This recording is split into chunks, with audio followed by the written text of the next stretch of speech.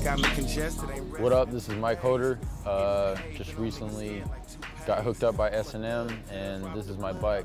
I really like the Cardona frame. It has a short back end, long top tube, super light, flat black, looks clean.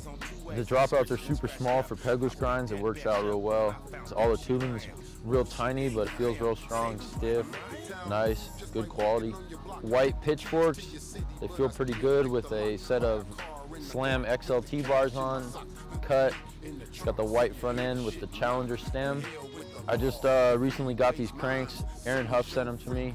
They're 175 black solid cranks. They feel pretty strong so far. I pretty much only run plastic pedals. They give a little more flex when I land. They're black, they're comfortable. Best pedals I've ran in a while.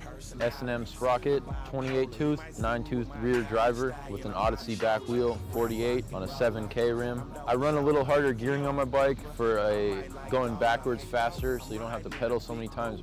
I'd like to give a shout out to uh, Revolution Cycles, shop I work at in Seattle, only BMX shop we got.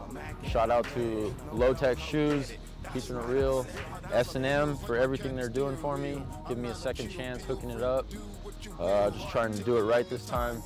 I'd like to thank my parents and my life. It's great.